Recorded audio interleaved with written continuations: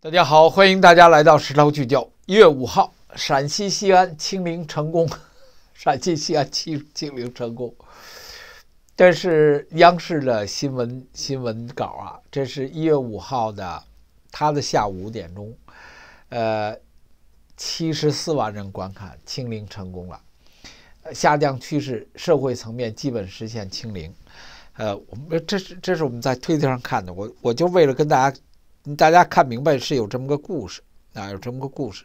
另外一个呢，就是呃，西安出出现一个江雪，江雪写了一个清零的西安达到清零的十天，他是二十二号，十二月二十二号写到十二月三十一号晚上，呃，十篇文章，呃，大才不是十篇文章，我看了他原文大概分类，我我们就跟大家讲述这故事了。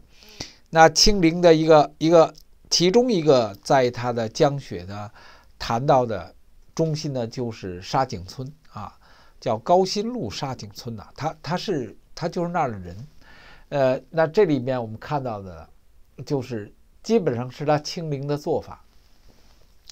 他他清零做法，他就把啊西安航空学院就所有染疫的人，所有染疫的人。给他从西安管辖的行政管辖区域都给他拉出去，一拉出去就清零成功了。